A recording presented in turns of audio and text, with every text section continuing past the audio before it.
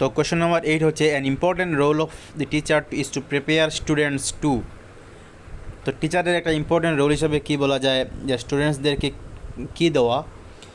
Earn livelihood care the family help friends encourage future challenges তো স্টুডেন্টকে কি, কিসের জন্য প্রিপেয়ার করাটা মেইন উদ্দেশ্য থাকে লাইভলিহুড আর্ন করা বা ফ্যামিলি কেয়ার এই সবগুলোই চলে আসে যদি আমরা এনকাউন্টার ফিউচার চ্যালেঞ্জেস বলি। ফিউচারে যা আসবে তার জন্যই তার জন্যই প্রিপেয়ার করার যদি হয়, সেটাই হবে টিচারের মেইন কাজ। তারপর stimulus variation is associated with with teacher in the classroom in terms of changing তো স্টিমুলাস ভেরিয়েশন যে কাজটা করা হয়, সেটা আর কিছু না।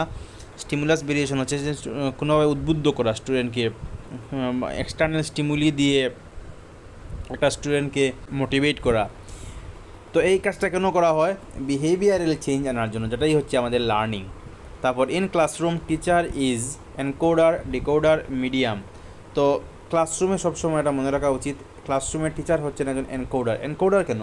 কারণ কোনো একটা থটসকে যে কমিউনিকেশনের মাধ্যমে ক্লাসরুমে কোনো একটা বইয়ের থট বা যে কোনো একটা চিন্তাধারাকে তিনি কমিউনিকেট করেন ক্লাসরুমের স্টুডেন্টদের সামনে এনকোড করে দেন। জিনিসটাকে এক্সপ্রেস করেন।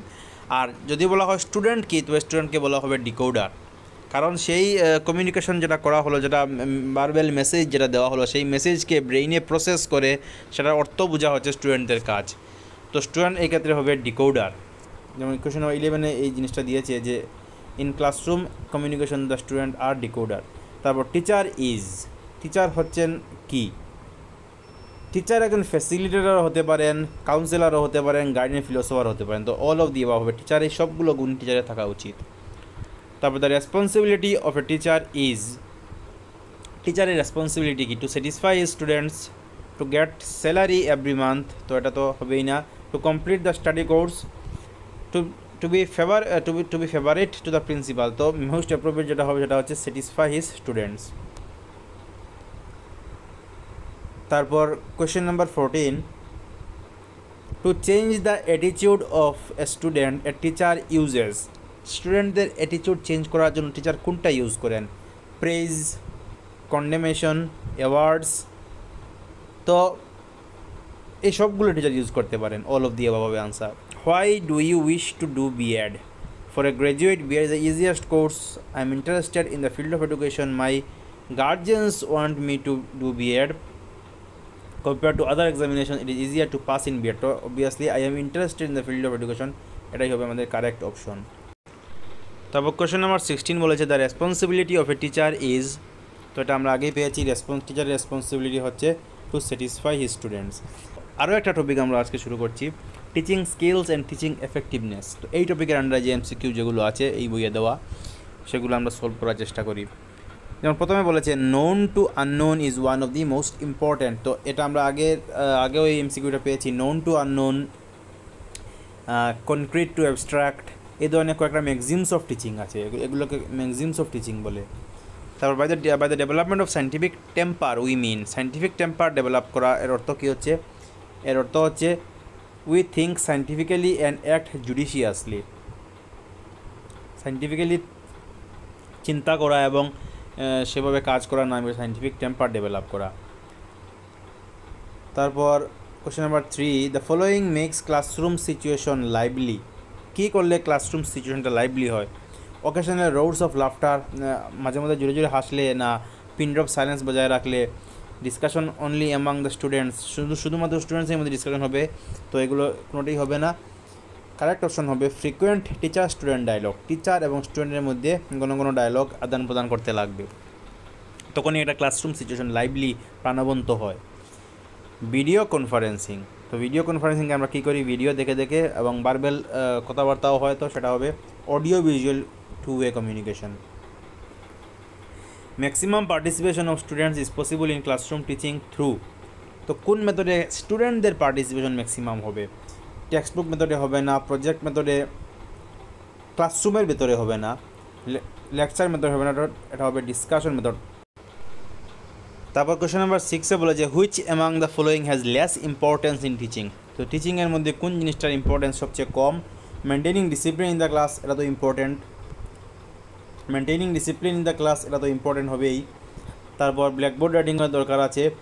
পানিশিং দ্য স্টুডেন্টস আর লেকচারিং তো এই জিনিসটাই সবচেয়ে কম ইম্পর্ট্যান্ট স্টুডেন্টসদের পানিশমেন্ট দেওয়া সেটার দরকার যাতে না পড়ে। তারপর in higher level of education the main objective of teaching should be higher লেভেলে যে হায়ার ক্লাসগুলোতে যখন টিচিং করা হয় তখন উদ্দেশ্যটা কী থাকে? To prepare the students to earn livelihood to prepare the students to pass examination to give up to date information তারপর to develop the capacity to take decision তো এই অপশনটাই মোস্ট অ্যাপ্রোপ্রিয়েট হবে যে হায়ার লেভেল যখন স্টুডেন্টসদের পড়ানো হয়, তখন তাদের মধ্যে এই জিনিসটাই ডেভেলপ করা মেইন উদ্দেশ্য থাকে যে, তারা নিজের নিজের সিদ্ধান্ত যাতে যাতে নিজে নিতে পারে। তারপর which of the following is a teaching skill তো টিচিং স্কিল বললে অনেকগুলো টিচিং স্কিল আসে। যেমন এগুলোকে আমরা মাইক্রো টিচিংয়ের আন্ডারে বলি এক একটা স্কিল ডেভেলপ করা হয়। যেমন কীভাবে ইন্ট্রোডিউসিং এ লেসন কীভাবে একটা লেসন ইন্ট্রোডিউস করতে লাগে, তারপর কীভাবে স্টিমুলাস ভেরিয়েশন করতে লাগে, কীভাবে কোয়েশনিং করতে লাগে ব্ল্যাকবোর্ড রাইডিং করতে লাগে এই সবগুলোই টিচিং স্কিলের আন্ডারে আসে। তারপর লাস্টে কীভাবে চ্যাপ্টার ক্লোজ করতে লাগে অ্যাচিভিং ক্লোজার সবগুলোই হবে, এখানে যে অপশন যেগুলো দিয়েছে, তো এই সবগুলোই টিচিং স্কিল হবে। The human resources of classroom আর তো ক্লাসরুমের হিউম্যান রিসোর্স বলতে কারা হবেন? Teachers and students the essential skills for effective adjustment in classroom আর ক্লাসরুমের মধ্যে অ্যাডজাস্টমেন্ট করার জন্য কী কী জিনিসের স্কিল থাকা দরকার? তো কন্টেন্ট মাস্টারি যে জিনিসগুলো পড়ানো হবে সেই কন্টেন্টের উপরে টিচারের মাস্টারি থাকতে লাগবে, গভীর জ্ঞান থাকতে লাগবে তো এটা তো ইম্পর্ট্যান্ট নলেজ অফ টেকনোলজি তারপর knowledge of the needs and interest of the students খুবই ইম্পর্ট্যান্ট এটা। স্টুডেন্টসদের নিড ইন্টারেস্ট কি সেটা বিষয়ে আমার জানা থাকতে লাগবে। Use of ICT in teaching learning তো এবারে এখনকার যুগে টিচিং লার্নিংকে আরও লাইভলি করার জন্য আমরা আইসিটি ইউজ করতে লাগে, আমাদের টেকনোলজি ইউজ করতে লাগে। তো এই টেকনোলজিটা শুধুমাত্র এডুকেশন রিলেটেড যেগুলো আছে, যেগুলোকে আমরা আইসিটি বলি, সেগুলোর দরকার পড়ে।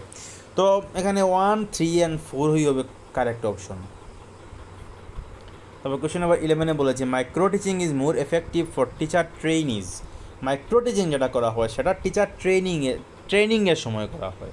যে মাইক্রো টিচিংয়ে আমরা এক একটা ছোটো ছোটো স্কিল সম্পর্কে আমরা আলাদা আলাদাভাবে প্র্যাকটিস করি। তো সেটাই হচ্ছে টিচিং প্র্যাকটিসের টাইমে মাইক্রো টিচিং করা হয়।